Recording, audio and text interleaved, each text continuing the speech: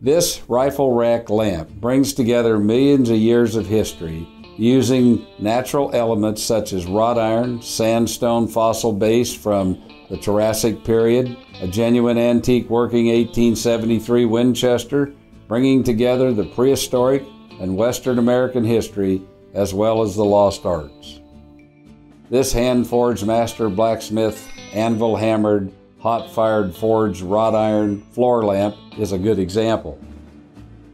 This rifle rack floor lamp is mounted on a fern fossil sandstone from the Triassic period found in the Petrified Forest National Park in Arizona, where a Chinle formation includes a variety of fern fossils, megafossils, and other fossilized flora, making the 1873 Winchester gun rack floor lamp one of a kind.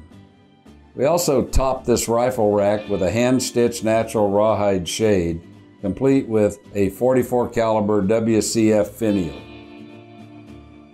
The originally chambered 4440 1873 Winchester was the most powerful of lever action guns when it was introduced in 1873, produced only between 1873 and 1919, was the most popular Winchester of all time, known as the gun that won the West.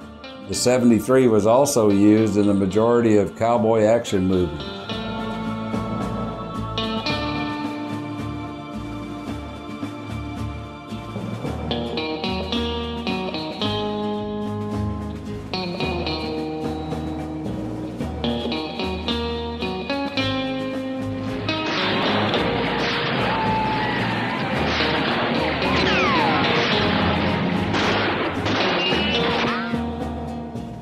We at ArtFactory.com and artist H.J. Nick keep in mind the rich history and provenance of many artifacts.